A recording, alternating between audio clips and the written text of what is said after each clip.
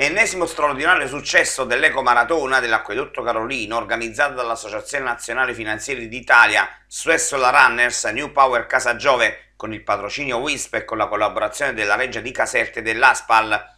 La 45 km podistica ha attraversato un bellissimo territorio tra il Sannio e l'area casertana.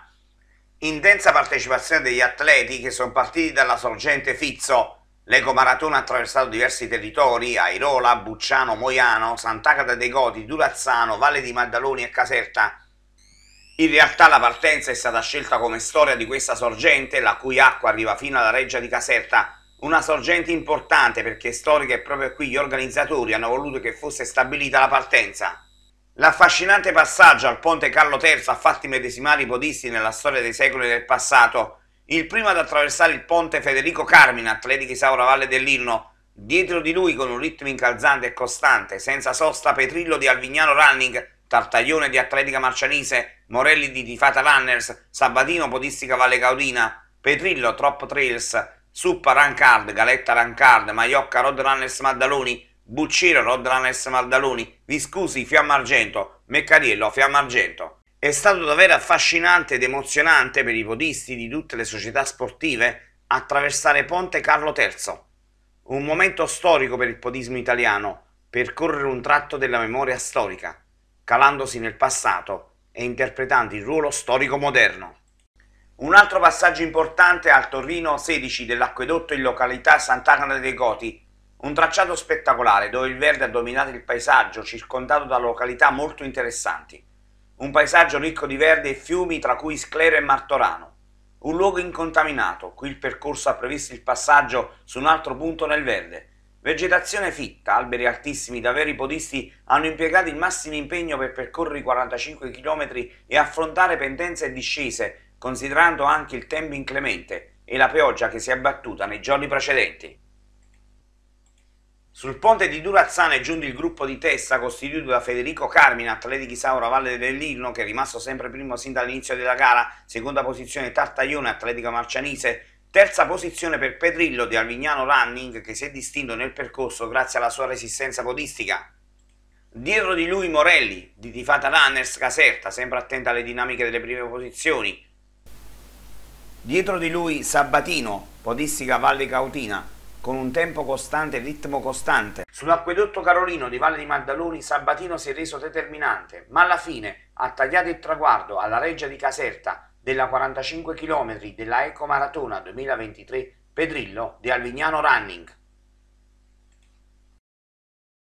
Alvignano Running, Pedrillo, vincitore di questa gara della 45 km, com'è stato percorrere il territorio? Bella la gara, veramente bella, organizzata bene, percorso, peccato per l'acqua, sono spettacolare, veramente bello. Ecco, è stato difficile per quanto riguarda le pendenze? No, no, no, non è eccessivo, no, no. Tranquilla, si può fare. È eh, bello. Ecco, comunque, diciamo, quale emozione hai provato? Ecco, che a me è la prima volta a questa distanza per questo tipo di gara questa è la prima complimenti complimenti che complimenti ecco, no, bravo. grande emozione provi giusto? sì sì eh. ecco in effetti non me l'aspettavo ecco non ti attendevi questo risultato no. eh, dall'inizio che siamo partiti dalla sorgente del Fizzo davvero hai potuto ammirare un paesaggio splendido sì veramente bello il passaggio sull'acquedotto bello tutti i passaggi interni tra le montagne e il bosco poi loro l'organizzazione cioè, i passaggi dove potevi bere, gentilissimi, i due ragazzi con la bicicletta strepitosi, per fortuna c'erano loro. Quindi c'è Vabbè. molto da raccontare praticamente in questa esperienza sportiva.